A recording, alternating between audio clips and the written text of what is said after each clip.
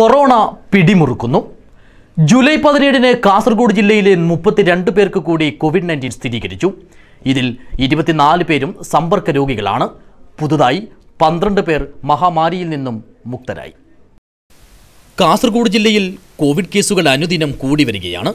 July പതിനേഴിന് മാത്രം മുപ്പത്തിരണ്ട് പേർക്ക് കൂടി വൈറസ് ബാധ സ്ഥിരീകരിച്ചു. ഇതിൽ ഇരുപത്തിനാല് പേർക്കും സമ്പർക്കത്തിലൂടെയാണ് രോഗബാധയുണ്ടായത്.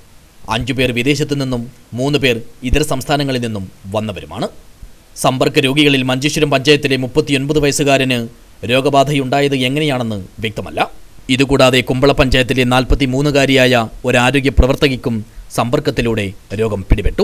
മൊഗ്രൽ പുത്തൂർ പഞ്ചായത്തിലെ ഇരുപത്തിയേഴും ഇരുപത്തിനാലും വയസ്സുള്ള പുരുഷന്മാർ മുപ്പത്തിയാറ് വയസ്സുള്ള സ്ത്രീ ചെങ്കള പഞ്ചായത്തിലെ നാൽപ്പത്തിയഞ്ചും മുപ്പതും ഇരുപത്തിയൊന്നും മുപ്പത്തിയെട്ടും മുപ്പതും വയസ്സുള്ള പുരുഷന്മാർ മുപ്പത്തിനാലും അൻപത്തിയഞ്ചും വയസ്സുള്ള സ്ത്രീകൾ രണ്ടും ഏഴും മൂന്നും അഞ്ചും വയസ്സുള്ള കുട്ടികൾ ചെമ്മനാട് പഞ്ചായത്തിലെ ഇരുപത്തിയെട്ട് വയസ്സുള്ള സ്ത്രീ ഇരുപത്തിയാറ് വയസ്സുള്ള പുരുഷൻ പതിനൊന്നും പതിനാലും അഞ്ചും വയസ്സുള്ള കുട്ടികൾ കാരടുക്ക് പഞ്ചായത്തിലെ മുപ്പത്തിയെട്ട് വയസ്സുള്ള സ്ത്രീ നാൽപ്പത്തിനാല് വയസ്സുള്ള പുരുഷൻ എന്നിവരാണ് മറ്റുള്ള സമ്പർക്ക രോഗികൾ.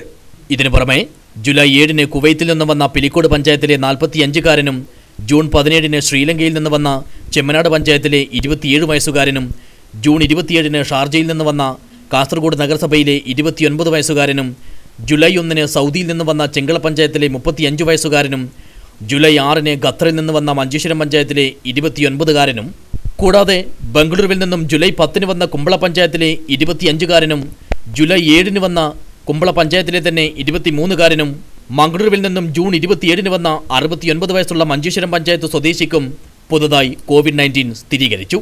ഇതിനിടെ പടന്നക്കാട്ടെ കോവിഡ് ചികിത്സാ കേന്ദ്രത്തിൽ നിന്നും ബദിയെടുക്ക ഉക്കിനടുക്കയിലെ കോവിഡ് ചികിത്സാ കേന്ദ്രത്തിൽ നിന്നും അഞ്ചരക്കണ്ടിയിലെ കോവിഡ് ചികിത്സാ കേന്ദ്രത്തിൽ നിന്നുമായി പന്ത്രണ്ട് പേർ രോഗത്തിൽ നിന്നും മുക്തി നേടി.